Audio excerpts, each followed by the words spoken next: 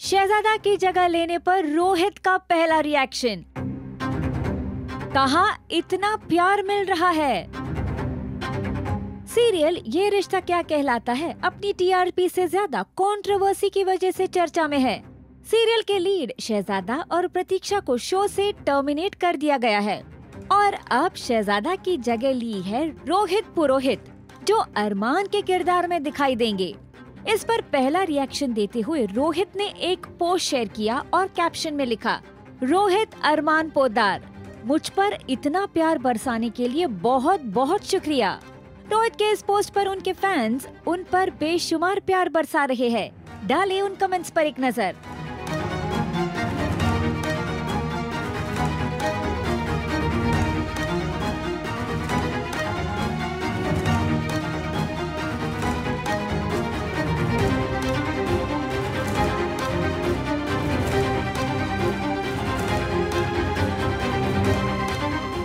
हम भी रोहित को इस नए सफ़र के लिए शुभकामनाएँ देते हैं।